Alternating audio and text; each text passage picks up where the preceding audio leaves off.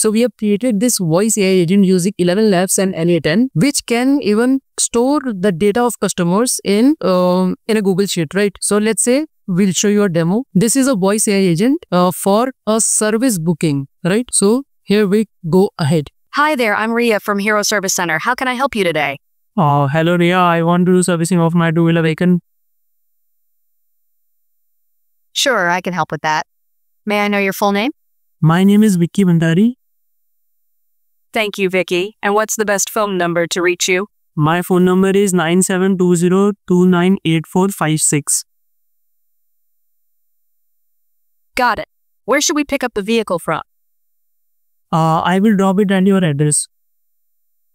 Okay, no problem. Is the vehicle currently under warranty? No, it is not under warranty. All right. Which date would you prefer for the service? I will prefer uh, it on 12th of August. And what time works best for you that day? at 1 p.m. in afternoon. Okay, so to confirm, you're Vicky Bondari and your data is an IO7202984. Please confirm that. Yeah. So as we saw, as Vicky was talking, it stored the information and it created a row in Google Sheet with the information that he provided, right? So Vicky Bandari, his phone number, obviously it's not a real number, pickup address. Um, we told that customer will drop at service center. so he did write that and the warranty know the preferred date and time, right?